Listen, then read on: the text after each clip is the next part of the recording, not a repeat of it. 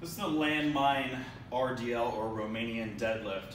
Uh, I really like this exercise just because it gives us a little bit of something to kind of anchor into with that landmine and that bar bell moves as we descend. So as we descend, it's going to become a little bit closer or in between our legs. As we come up and it moves towards the landmine, it'll move a little bit further away.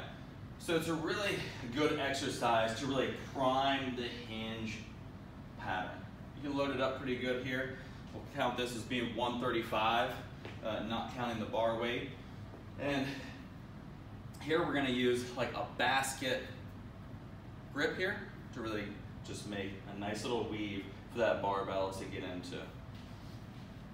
Starts to overload the back a little bit more. And it's just a simple exercise, again, to promote that hinge and get the hips back while having that weight right in front of our sternum, not letting it glide any which way.